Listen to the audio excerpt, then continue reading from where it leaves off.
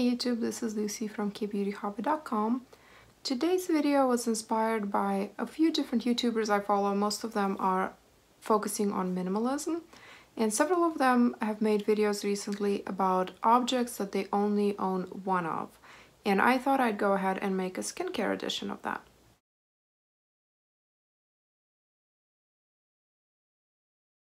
Before we even get started, I would love to know how all of you are holding up how you're spending your days, what changed in your life in the last weeks as it relates to quarantine and social distancing. I was putting my makeup on just now to do the video and my six-year-old looked at me and said, Mom, why are you wasting all that makeup? You have nowhere to go. And she's right, I have nowhere to go. The highlight of the last probably three weeks for me was a Costco trip yesterday. If you followed me on any of my social media, Instagram or my blog or my Facebook group, Korean Beauty Fanatics, you probably realize that I have a ton of skincare. And I do have a video with a walkthrough of all the different things that I own. But in today's video, I want to focus on things that I only own one of and give you a brief explanation as to why. There's really no reason to own multiple things of the same type of product Sometimes it makes sense to have several toners or several face washes or several creams if your skin behaves differently throughout the day or through different seasons. But there are certain things that I only own one of and there are reasons for that. So the first thing that I usually just have one of at a time are peeling pads. This one right now that I have is a Whamisa Charcoal Chai Tea Pore Refining Glow Pad. To be completely honest, I just opened these, so I have not used these yet. I used to have Neogen peeling pads, and then now I have these. The reason I don't have more than one jar at a time, and I might have more than one, but the extras are sealed and they're just waiting for their turn. So I don't open them all at once and I don't use them all at once and that's because there's just really no reason to do it for me. Peeling pads are exfoliating products that are meant to remove dead skin cells and any kind of debris that are left behind by regular cleansing. I usually use peeling gels one to two times a week and then maybe one time a week a peeling pad.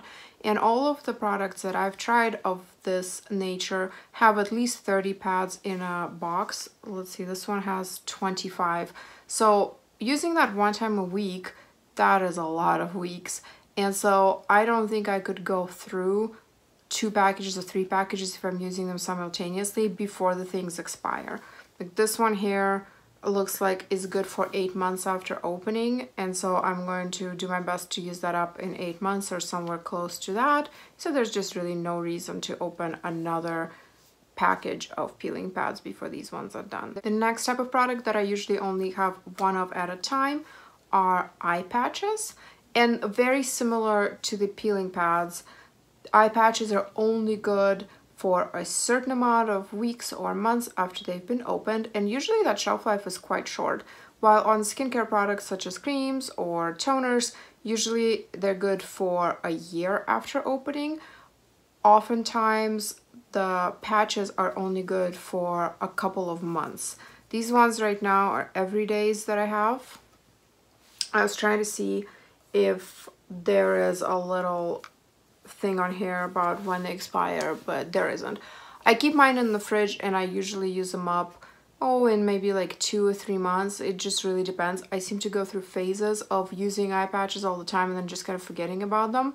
But when I use them, I use them under my eyes, around my nasolabial folds and also on my forehead. So basically anywhere that is prone to fine lines and wrinkles, anything that needs to be plumped. So I do tend to use quite a few of them at a time, usually six. So two under my eyes, two on the nasolabial folds, and two on the forehead. Sometimes it's just one on the forehead. But even with that kind of use, still, I usually do not open more than one jar at a time because I do not want to have them go bad before I get to them. Next is makeup primer. Currently I have this Laneige serum. It's a glow serum, but it's basically a makeup primer. It goes right after sunscreen, but before makeup. I actually technically have two of these, but the only reason is that my friend gave me hers because she didn't like it. So I have a backup one in my fridge. But typically I wouldn't get more than one makeup primer at a time because I don't wear makeup very often. And even when I do, as far as the foundation type products go, I usually just stick with a powder, which doesn't necessarily require primer. This primer is kind of a different story. It gives you a glow even if you are just using powder. So I still use this even if I don't do cushion or any kind of base product. But with most makeup primers, there's really no reason to wear them unless you're wearing them under BB cream or some sort of foundation. So for the same reason as the other two products, I just would hate to have something and have it go bad. And even a small tube of primer lasts me a very long time, so I just stick to one at a time. Another type of product that I usually just have one up at a time is a spot treatment. I currently have this one. It's by Lisse Derm. If you can see it. It is a pimple spot treatment that is meant to make breakouts heal faster and reduce redness and it can be applied to small or large areas that are having problems, irritation, breakouts, those things. So it's a tube like this. It is a liquid in there with some powder in it and it doesn't take much at all to cover a large area. So I think this will last me quite a long time, especially since I don't break out very often. And so just one is enough for me. When this runs out, I will look for something else. I also sometimes just have pimple patches and don't have any kind of other spot treatments. And usually those are also sufficient, but this was sent to me in a PR box and I thought it was very interesting. And I am liking this, especially if I have a larger affected area, something too large for a pimple patch. But I wouldn't necessarily stock up on this myself. I usually would just use pimple patches and then different serums and toners with Centella in it, but since this was sent to me, I do like it and I do use it. I typically only have one eye care product at a time. Eye creams and eye lotions. Are there eye lotions? Maybe. Anyway, eye creams usually come in tubes that look deceivingly small but last forever and I normally use them not just around my eyes but also on my neck because eye creams tend to be more nourishing than the face creams that I buy because I have combination skin. So the face creams that I tend to buy are usually aimed to control the oil production and such and they're maybe not as nourishing as what my neck would like because the skin on the neck is different. currently using this Elensilia CPP cream I haven't had it for too long, so I can't really speak very much about it yet as far as a review. I do like it though. It is nice and light. It doesn't bother my eyes. I have oily eyelids and sometimes I can even sweat on my eyes and anything that is too heavy just does not feel good. But this feels good and I keep using it. So, so far the first impressions are very positive.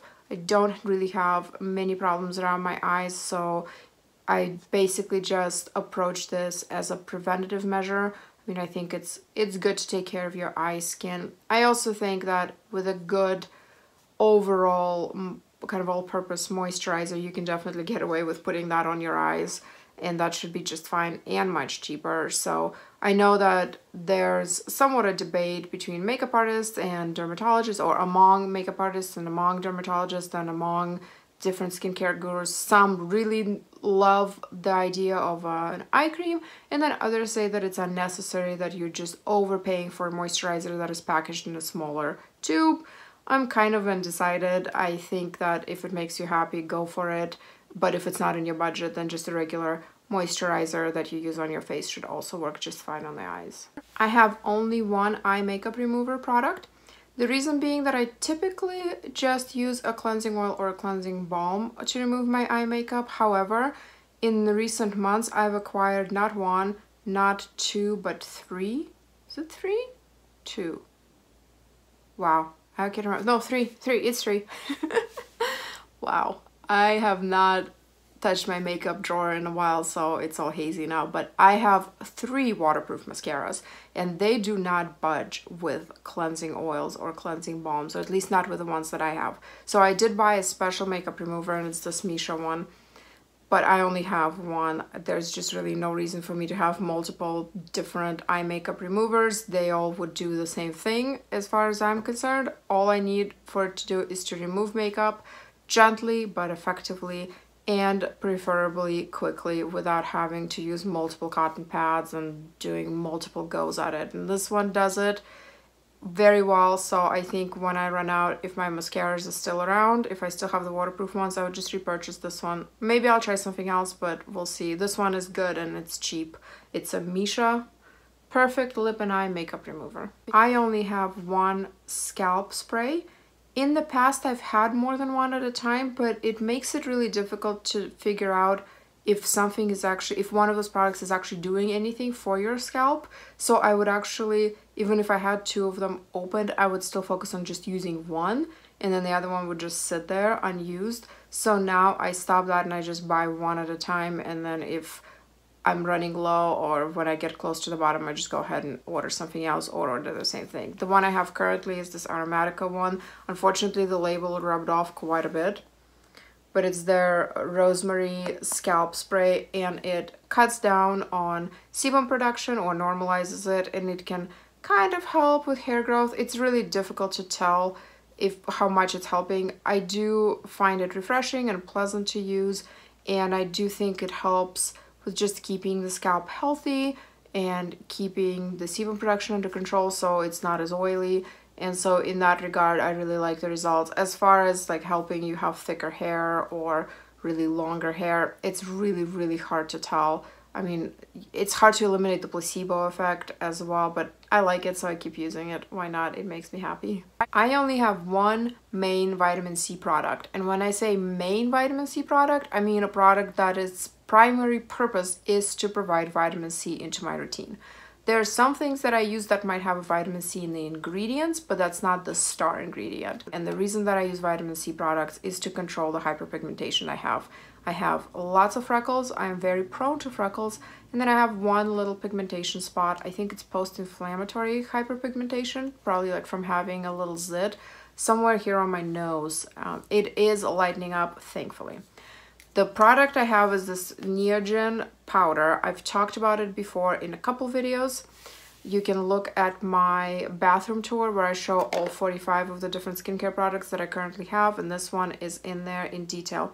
The reason I only have one vitamin C product is because vitamin C products are not very shelf stable. If it's a proper concentration of vitamin C, if it's not just a small additive at the end of an ingredients list, if it's really primarily a vitamin C product, it is not going to have a long shelf life. Vitamin C oxidizes, it's kind of finicky. I had the Cosrx Triple C Lightning Serum, for example, that so, so many people love.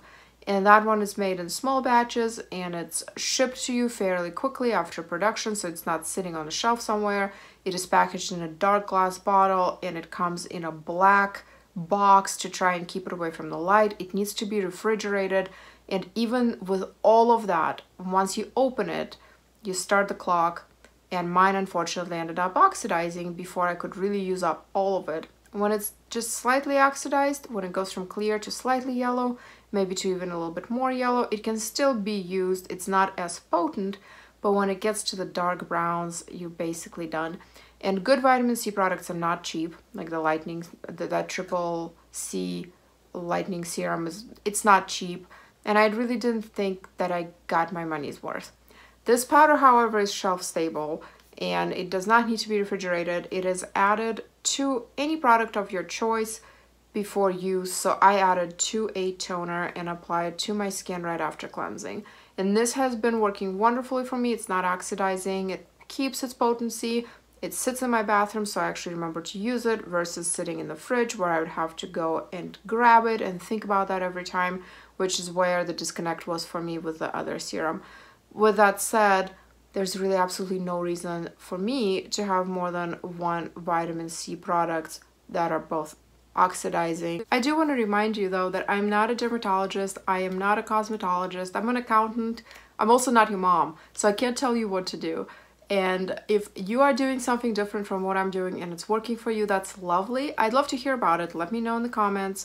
I think there's definitely room for lots and lots of different ways to do skincare. And if you found something that works for you, stick with it. These are just my opinions and maybe they're helpful for some, but if you have some other way that you're doing it and it's working for you, then great.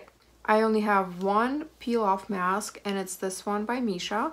There are a couple of reasons why. Reason number one is I have a hard time fitting these masks into my routine.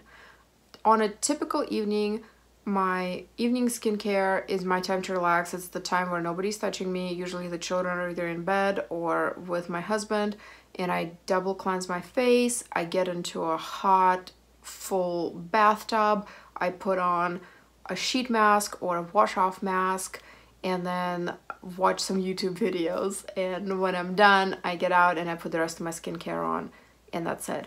Peel off masks can't really be used in the tub. The water, the steam and everything in the small enclosed bathroom space makes the air way too humid and so this never sets and it never dries. So for me to use this, I have to use it basically after I double cleanse, but obviously before sheet mask, before anything else. So for me, it's just not working super great. And also it can be a little bit painful depending on how intense the peel off pack is. If you use it on the periphery of your face and if you have peach fuzz like I do, can be kind of intense to take that off. So I usually only use it in the T-zone.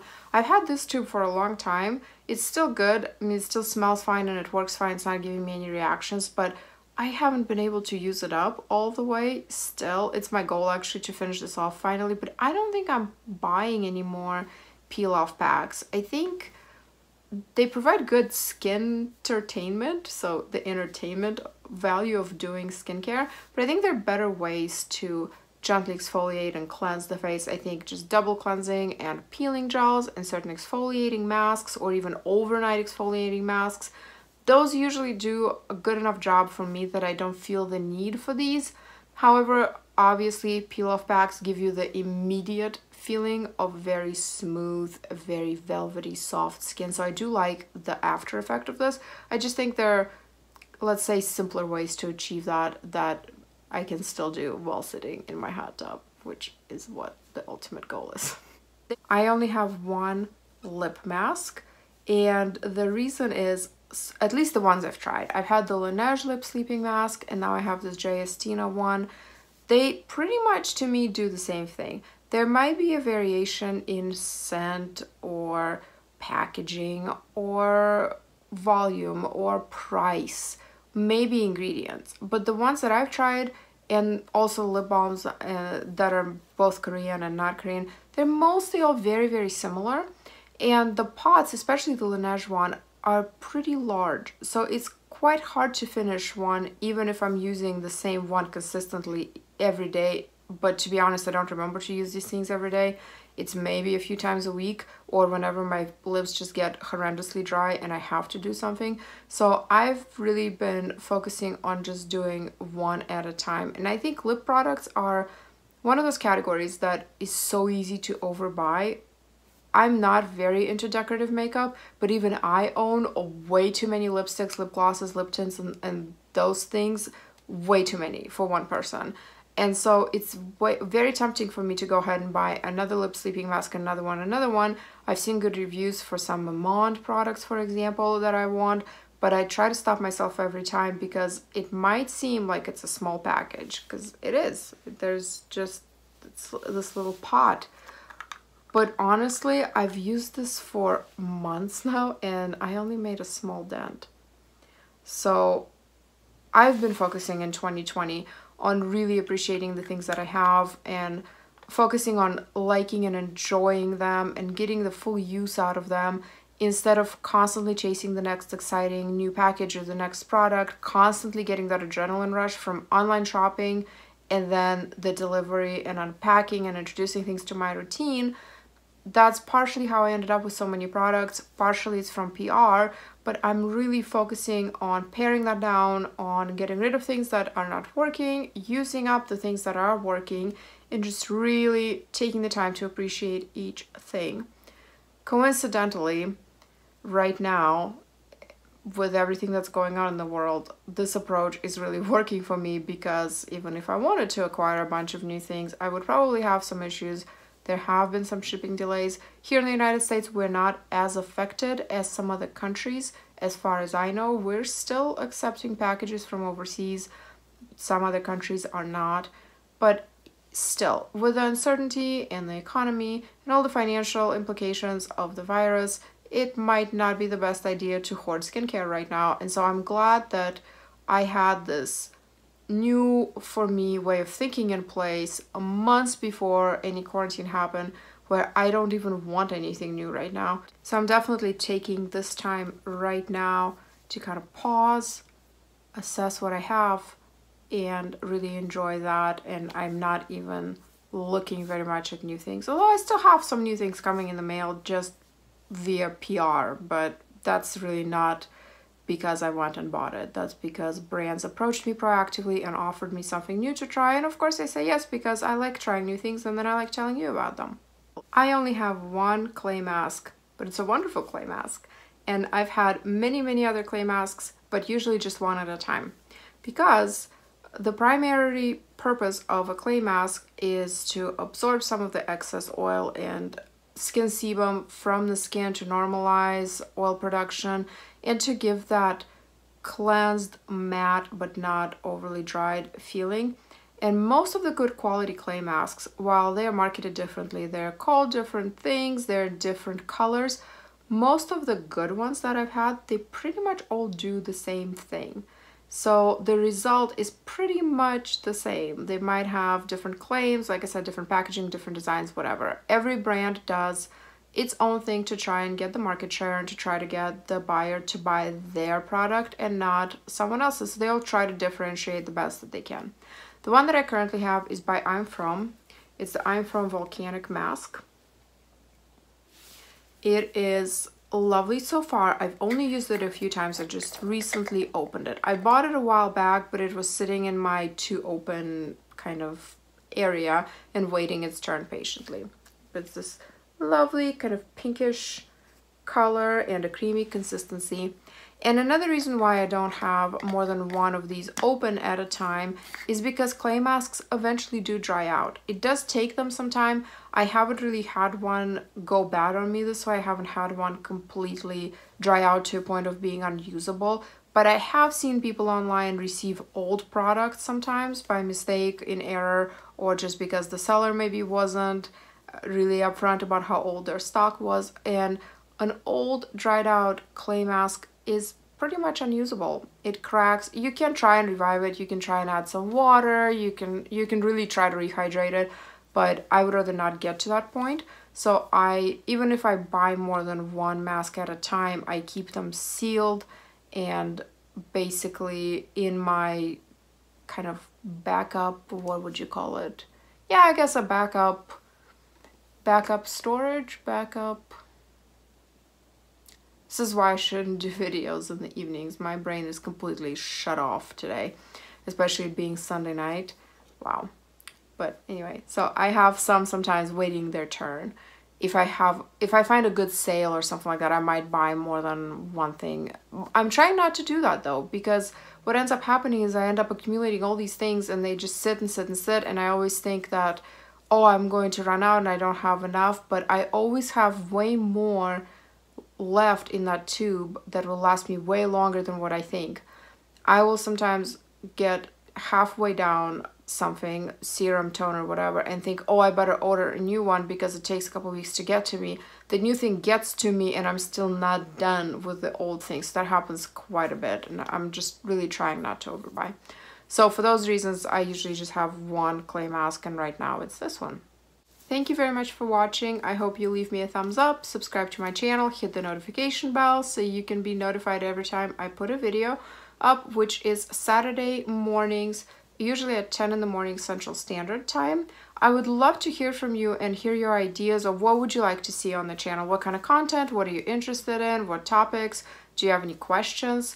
You can leave me a comment or Find me on Facebook. I have a group called Korean Beauty Fanatics where you can post your own reviews and ask questions. We have almost 5,000 people on there now that are very, very helpful and readily share their vast experiences. So if you want more opinions versus just my own, please find me on there. You can also check out my blog, kbeautyhobbit.com and my Instagram at kbeautyhobbit. I hope you are doing well. I hope you're staying as stress-free as possible and remember to take care of yourself. I will talk to you next Saturday. And until then, please remember to always listen to your skin. Thanks for watching. Bye.